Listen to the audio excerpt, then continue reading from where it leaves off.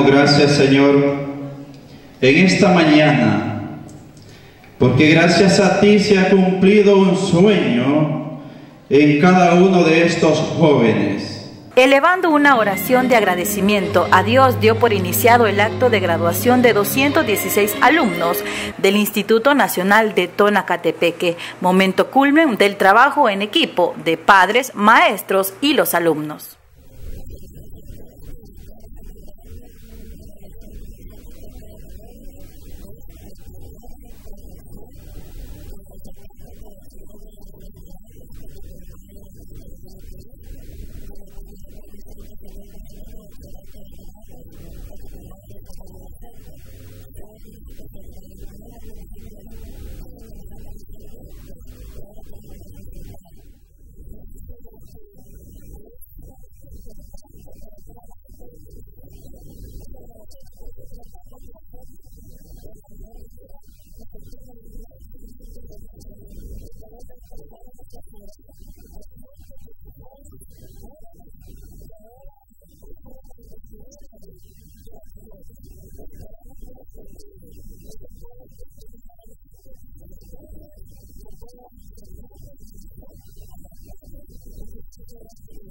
Esta nueva etapa significa para los padres de familia un orgullo y sobre todo un estímulo para continuar apoyando a sus hijos en todo momento. Gracias a Dios porque el Señor los ha sacado en victoria, va.